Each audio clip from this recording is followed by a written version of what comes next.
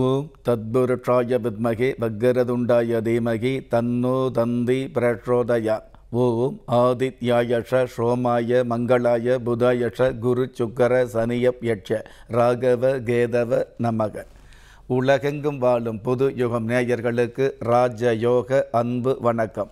நிகழ்ச்சியை பார்த்துக்கிட்டு இருக்கிற உங்களுக்கு குலதெய்வ ஆசையும் நவகிரக அனுகிரகமும் முழுமையாக கிடைக்கணுங்கிற பிரார்த்தனையோடு உங்கள் Raja Yogam doctor K Ram. Astro three sixty நிகழ்ச்சியில் இன்றைக்கி நம்ம பார்க்க போகிறது அதாவது குலதெய்வ சாமியை குல சாமியை எந்த மாதிரி வழிபாடு வச்சுக்கணும் ஏதாவது முறை இருக்குதா அப்படிங்கிற விஷயத்த நிறைய பேர் கேட்டிருக்கீங்க. குறிப்பாக சவுதியில் வந்து கட்டட வேலை செய்கிறவங்க நிறைய பேர் வந்து ஒரு குழுவாக இருந்து நம்ம யூடியூப்பில் புது யுகம் யூடியூப்பில் நம்ம நிகழ்ச்சி பார்த்துட்டு நிறைய கேள்வி கேட்டுட்டு சார். உங்களுடைய நிகழ்ச்சி ரொம்ப பயனுள்ளதாக இருக்குது அப்படின்னு வந்து பாராட்டி அதில் இந்த கேள்வி வந்து எல்லோருமே கேட்டிருக்கீங்க. புது யுகமில் யூடியூப்பில் பாருங்கள் அதே மாதிரி யூடியூப்பில் ராஜயோகம் ராஜயோகம் டிவி வந்து பார்த்தீங்க அப்படின்னா அதுலேயும் வந்து உங்களுக்கு அதாவது நீங்கள் கேட்குற கேள்விக்கு பதில் அப்படிங்கிறத விட உங்களுடைய மனசில் இருக்கக்கூடிய கேள்விகளுக்கு கூட மகத்துவமான பதில் ராஜயோகம் டிவியில் இருக்குது யூடியூப்பில் அப்படிங்கிற விஷயத்தையும் இந்த நேரத்தில் உங்கள்கிட்ட பகிர்ந்துக்க கடமைப்பட்டிருக்கிறேன். அந்த வகையில் இந்த குலதெய்வம் என்று சொல்லக்கூடிய குலசாமியை எந்த மாதிரி வழிபாடு வச்சுக்கணும் அப்படின்னு கேட்டிங்கன்னா நான் நிறைய நிகழ்ச்சியில் பதிவு பண்ணியிருக்கிறேன். அதாவது மற்ற தெய்வங்களுக்கு வழிபாட்டு முறைகள் அப்படிங்கிறது வெவ்வேறு முறைகள் வந்துகிட்டு இருக்கலாம். உதாரணம் வந்து பார்த்திங்கன்னா சிவபெருமானாக இருந்தால் நம்ம கையை மேலே தூக்கி கும்பிட்றோம். பெருமாளை கும்பிடும்போது கை மேலே மேலே தூக்கி நம்ம வந்து கோவிந்தா சொல்லிக்கிறோம். அதே மாதிரி முருகப்பெருமானுக்கு அரகரா சொல்கிறோம் விநாயகர் பெருமானை கும்பிடும்பொழுது நம்ம வந்து உக்கி போட்டு அதாவது தோப்பு கரணம் போட்டு காதை பிடிச்சி நம்ம வந்து பிரார்த்தனை பண்ணிக்கிறோம். அதே மாதிரி மற்ற தெய்வங்களை கும்பிடும்பொழுது இரு கரம் கூப்பி நமஸ்காரம் பண்ணுற மாதிரி வழிபாடு வச்சுக்கிறோம். இந்த மாதிரி வழிபாட்டு முறைகளில் வந்து வெவ்வேறு விதமான ஒரு சூழல்கள் வெவ்வேறு விதமான முறைகள் இருந்துகிட்டு இருந்தால் கூட குலதெய்வத்தை பொறுத்தளவுக்கு வழிபாட்டு முறை அப்படிங்கிறது உங்களுடைய மனசில். நீங்கள் மந்திரம் சொல்லி பிரார்த்தனை பண்ணணும் அல்ல மந்திரம் சொல்லி ஜெபம் பண்ணணும் அப்படிங்கிற விஷயத்துக்கெல்லாம் அப்பாற்பட்டு உங்களுடைய மனசில் இருக்கக்கூடிய குறைகள் வந்து உங்களுக்கு தெரிஞ்ச மொழியில் உச்சரித்தாலே போதும். அல்லது அந்த குறைகளை நினச்சி குலதெய்வத்தினுடைய அந்த நெத்திய குலதெய்வத்துடைய விக்கிரகத்தை பார்த்தாலே போதும். உங்களுக்கு ஓரளவு பிணி பீடைகள் நீங்கக்கூடிய உங்களை வந்து எந்த மாதிரியான கஷ்டத்தில் இருந்தாலும் காப்பாற்றி கரை சேர்க்கக்கூடிய மிகப்பெரிய வல்லமை உங்களுடைய குலதெய்வத்துக்கு இருந்துகிட்டு இருக்குது அப்படிங்கிறது உண்மையான விஷயமா இருந்துகிட்டு இருக்குது. ஏன்னா வம்சாவளி தெய்வமாக விளங்கக்கூடிய குலதெய்வம் எந்த நேரத்தில் உங்களை வந்து கைவிடாது கைவிடவும் முடியாது அப்படிங்கிற விஷயத்தில் வந்து உறுதியாக வந்துட்டு இருக்குது சாஸ்திர ரீதியாக. அந்த வகையில் குலதெய்வத்தை வந்து வழிபாடு அப்படிங்கிறது உங்களுடைய மனசுக்கு தெரிஞ்ச மாதிரி. அதாவது உங்களுடைய தெய்வம் உங்களுடைய சொந்த தெய்வம் உங்களுக்கான முதல் தெய்வம் நீங்கள் ஜனனமாகிறதுக்கு முன்னாடியே உங்களுக்கான ஒரு அருளாசி கொடுக்கக்கூடிய அற்புதமான தெய்வம் குலதெய்வமாக இருக்கிறதுனால நீங்கள் எந்த மாதிரியான வழிபாடு வச்சுக்கிட்டாலும் உங்களுடைய வாழ்க்கையில் மிகப்பெரிய ஏற்றத்தை கொடுக்கக்கூடியது. ஏமாற்றமான சூழல் இருந்தால் கூட அவர்களுக்கு வந்து மிகப்பெரிய ஏற்றத்தையும் மாற்றத்தையும் கொடுக்கக்கூடிய வல்லமை உங்களுடைய குல தெய்வத்துக்கு இருக்குது அப்படிங்கிறது தான் உண்மையான விஷயம். அப்படிப்பட்ட குலதெய்வத்து கோயிலில் வழிபாடு வச்சுக்கிறது அப்படிங்கிறத விட அந்த குலதெய்வத்து கோயிலுக்கு போகிறது அப்படிங்கிறது. மற்ற கோயிலுக்கு நம்ம நேரம் இருக்குது நேரம் இல்லைங்கிற பட்சத்தில் தனியாக போய் நம்ம சாமி கும்பிடலாம் நமஸ்காரம் பண்ணிக்கலாம் வேண்டுதல் வச்சுக்கலாம் பிரார்த்தனை செய்யலாம். ஆனால் குலதெய்வத்து கோயிலுக்கு மட்டும் கண்டிப்பாக குடும்பத்தோடு போகணுங்கிற விஷயத்தை நம்ம நிறைய நிகழ்ச்சியில் பதிவு பண்ணியிருக்கிறோம். அதாவது வருஷத்துக்கு ஒரு முறையாவது கண்டிப்பாக குலதெய்வத்து கோயிலுக்கு போகணும்.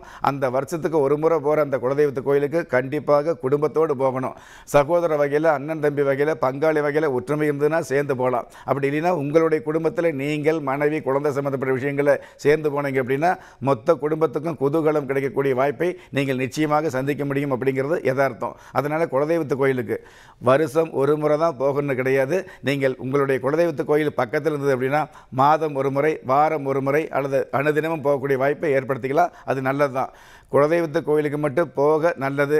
ஆனால் போக போக மிகப்பெரிய நல்லது நடக்குது அதிர்ஷ்டம் நடக்குது அப்படிங்கிறது தான் உண்மையான விஷயம். எந்த ஒரு எந்திரமும் கொடுக்காத எந்த ஒரு விஷயமும் கொடுக்காத எந்த ஒரு வழிபாடும் கொடுக்காத ஒரு மிகப்பெரிய அதிர்ஷ்டத்தை உங்களுடைய வழிபாடு அதாவது குலதெய்வ வழிபாடு அப்படிங்கிறது தொடர்ந்து வச்சுக்கிட்டு இருக்கும் பொழுது அந்த அதிர்ஷ்டம் அப்படிங்கிற விஷயத்தை யாராக இருந்தாலும் கண்டிப்பாக தொட்டு பார்க்க முடியும் அப்படிங்கிறத உங்களுடைய வாழ்நாளில் நீங்கள் நிச்சயமாக உணர முடியும்.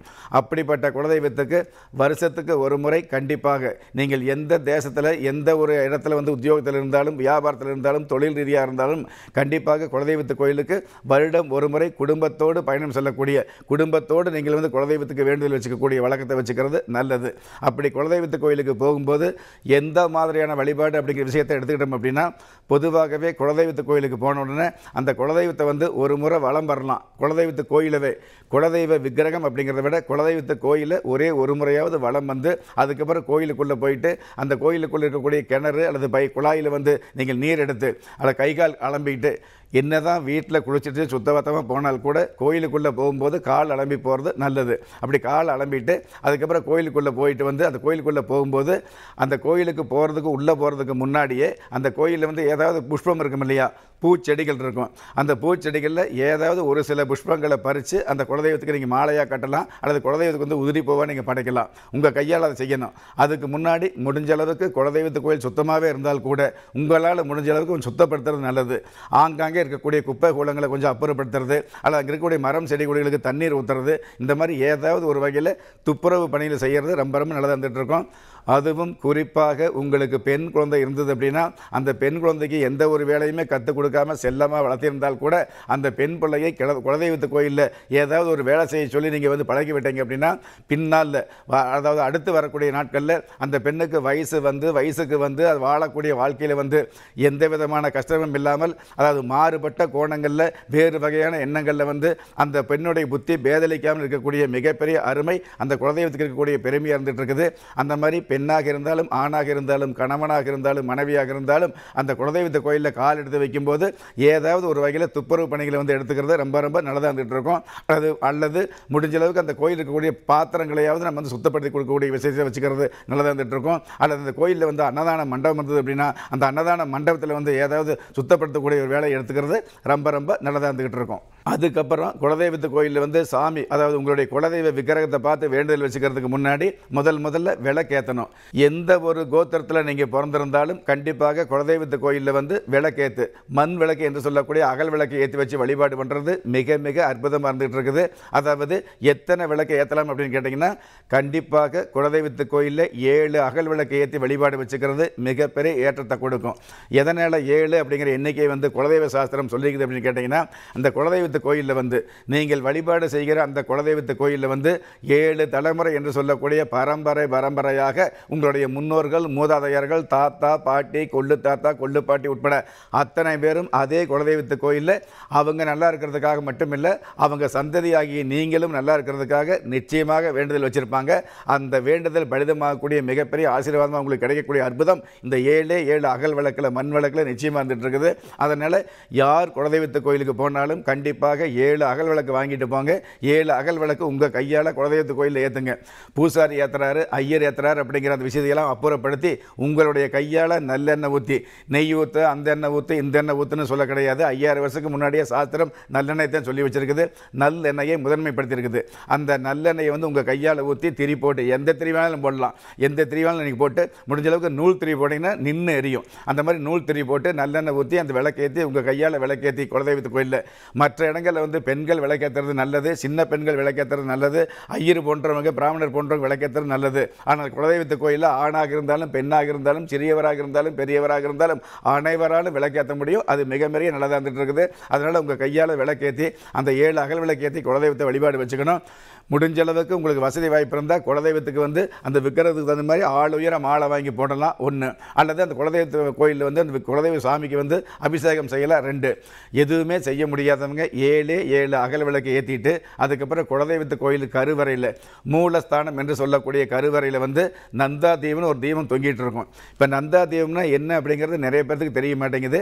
நந்தா தீபம் அப்படிங்கிறது குலதெய்வத்து கோயிலில் மற்ற எந்த தெய்வமாக இருந்தாலும் அந்த தெய்வ சன்னதியில் கருவறையில் மூலஸ்தானத்தில் ஒரு ஒரு விளக்கு. நம்ம சாதாரணமாக எந்த விளக்காக இருந்தாலும் கீழே வைக்கிறோம் இல்லையா? அல்லது மனையில் வச்சு ஏற்றுவோம் ஆனால் இந்த கருவறையில் இருக்கக்கூடிய இந்த நந்தா விளக்கு வந்து பார்த்திங்கன்னா இந்த ஒரு சங்கிலி போட்டு தொங்க விட்டுருப்பாங்க. செயின் மாதிரி போட்டு தொங்க விட்டுருப்பாங்க. அது வந்து நம்மளோட உயரத்துக்கு வந்துட்டு இருக்கும்.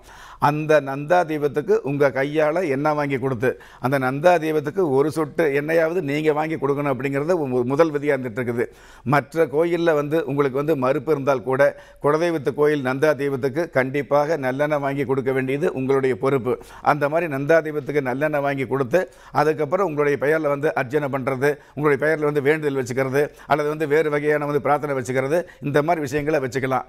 அப்படி குலதெய்வத்துக்குள்ளே கோயிலில் வைக்கும் பொழுது உங்களுக்கு காணிக்க போடுற அளவுக்கு கட்டுக்கட்டாக பணம் இல்லாமல் இருந்தால் கூட ஒரே ஒரு ரூபாய் காணிக்க கொடுத்து குலதெய்வத்து கோயில் நெத்தியில் வந்து அந்த சாமிக்கு வந்து நெத்தி காணிக்க கொடுத்து நீங்கள் வழிபாடு வச்சுக்கணும். இந்த மாதிரி வழிபாடு வச்சுட்டு அதுக்கப்புறம் வெளியில் வந்து குலதெய்வத்து கோயில் நமஸ்காரம் வேண்டுதல் பிரார்த்தனையெல்லாம் முடிஞ்சதுக்கப்புறம் வெளியில் வந்து அதுக்கப்புறம் நீங்கள் சாப்பிட்றது நல்லது. இந்த மாதிரி விஷயங்களையெல்லாம் வந்து குலதெய்வத்து கோயிலுக்கு போகும்போது அதிகாலையில் போகிறது நல்லது அல்லது சாப்பிடாம போகிறது நல்லது. விரதம் பெறுன்னு சொல்லலை சாப்பிடாம போய் குலதெய்வத்து கோயில் சாமி கும்பிட்டு அதுக்கப்புறம் சாப்பிட்றது நல்லது. சாமி கும்பிட்டு முடிச்சதுக்கப்புறம் குலதெய்வத்து கோயிலில் அமர்ந்து நீங்கள் சாப்பாடு சாப்பிடுவது முடிஞ்ச அளவுக்கு பக்கத்தில் உள்ளவங்களுக்கு வந்து ஒரு ரெண்டு பேர்த்துக்கு நாலு பேர்த்துக்கு முடிஞ்ச அளவுக்கு தானம் பண்ணுறது இதுவெல்லாம் நல்லதாக இருந்துகிட்டு இருக்கும். அதுக்கப்புறம் தானம் பண்ணி சாப்பாடு முடிஞ்சதுக்கப்புறம் அதுக்கப்புறம் முடிஞ்சால் குலதெய்வத்து கோயிலில் மறுபடியும் ஒரு முறை வளம் வந்துட்டு அந்த குலதெய்வத்து கோயிலுக்கு கோபுரத்தை பார்த்து நிச்சயமாக நமஸ்காரம் வச்சுக்கோங்க.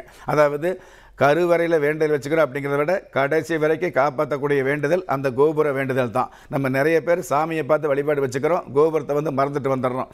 ஆலய தரிசனம் பாவ விமோசனம் கோபுர தரிசனம் கோடி புண்ணியம் அப்படிங்கிற அந்த ஆன்மீக பழமொழிக்கேற்ப அற்புதமான அந்த கோபுரத்தை பார்த்து நீங்கள் நமஸ்காரம் பண்ணிக்கிங்க.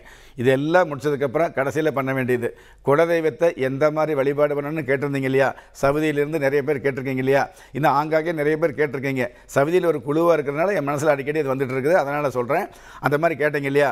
அந்த மாதிரி உள்ளவங்களுக்கு. எந்த சாமியாக இருந்தாலும் எப்படி நமஸ்காரம் எந்த மாதிரி வேண்டுதல் வச்சுக்கிட்டாலும் அது தவறு கிடையாது. குலதெய்வத்தை பொறுத்தளவுக்கு நீங்கள் எந்த மாதிரி பிரார்த்தனை பண்ணாலும் அது தவறு கிடையாது. ஆனால் அந்த வேண்டுதல் வெகு சீக்கிரமே நிறைவேணும் நிறைவேறணும் அப்படின்னா கண்டிப்பாக உங்களுடைய குலதெய்வம். ஆண் தெய்வமாக இருந்தாலும் பெண் தெய்வமாக இருந்தாலும் ஆங்காரமான தெய்வமாக இருந்தாலும் அமைதியான தெய்வமாக இருந்தாலும் ஆடு பலி கொடுக்க ஆடு கோழி பலி கொடுக்கக்கூடிய தெய்வமாக இருந்தால் கூட அந்த தெய்வத்தை வழிபாடு வச்சு முடிச்சதுக்கப்புறம் கடைசியில் அந்த கோபுரத்தை பார்த்து நமஸ்காரம் பண்ணதுக்கப்புறம் கீழே பூமா தேவியை தொட்டு நமஸ்காரம் பண்ணணும். கீழே பூமா தேவியை எந்த மாதிரி தொடணும் அப்படின்னா உங்களுடைய வலதுகை ஆணாக இருந்தாலும் பெண்ணாக இருந்தாலும் உங்களுடைய வலதுகை மோதிர விரலால் பூமா தேவியை நமஸ்காரம் பண்ணிட்டு வாங்க. உங்களுடைய வேண்டுதல் எப்படிப்பட்ட வேண்டுதலாக இருந்தால் கூட அந்த வேண்டுதல் ஏழு அதாவது எண்ணு ஏழு நாட்களுக்குள் பலிதமாகக்கூடியது அல்லது எண்ணு ஏழு நாட்களுக்குள் அந்த வேண்டுதல் பலிதமாகக்கூடிய சந்தர்ப்பங்கள் உருவாகக்கூடிய மிகப்பெரிய ஒரு சந்தோஷத்தை உங்களுடைய குலதெய்வம் கொடுக்கும் கொடுத்துத்தான் ஆகணுங்கிற விஷயத்தை இன்றைய நிகழ்ச்சியில் உங்களோடு பகிர்ந்துக்க நான் கடமைப்பட்டிருக்கிறேன். எது எப்படி இருந்தாலும் ஒரு மனிதனை யாரு கைவிட்டாலும் ஆன்மீகம் கைவிடாது என்ற அனுபவ உண்மையோடு நல்லவர்களையும் நியாயமானவர்களையும் குலதெய்வம் கைவிடுவதில்லை என்ற என்னுடைய ஆழமான ஆன்மீகத்தையும் பதிவு செய்து அகில உலகத்தில் உள்ள அத்துண தெய்வங்களின் அனுகிரகமும் ஈரேல் உலகத்தில் உள்ள எல்லா சக்திகளின் ஒட்டுமொத்த ஆசீர்வாதங்களும் உலக மக்கள் அனைவருக்குமே கிடைக்க வேண்டிய பிரார்த்தனையோடும் வாழ்த்துக்களோடும். உங்கள் ராஜ யோகம் டாக்டர் கே. ராம்.